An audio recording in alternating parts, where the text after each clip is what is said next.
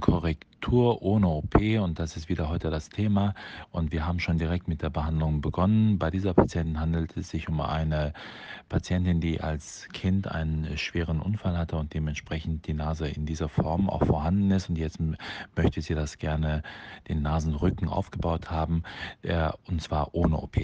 Die Nasenkorrektur mit OP ist, ähm, kann man hier an der Statistik sehr schön erkennen, nicht so häufig wie wir die zum Beispiel ohne OP durchführen. Wir ähm, haben, glaube ich, die Leistungen Nasenkorrektur ohne OP, die wir hier täglich in größerer Anzahl durchführen. Auch hier so eine Live-Behandlung. Man sieht hier jetzt schon, wie schön der Nasenrücken aufgebaut worden ist, dass es wieder eine normale Nase ausschaut. Sie hat natürlich auch ein Problem in der, im inneren Bereich. Das kann man jetzt aktuell damit nicht lösen, aber das ästhetische Ergebnis ist dem schon jetzt entsprechend ansprechender geworden.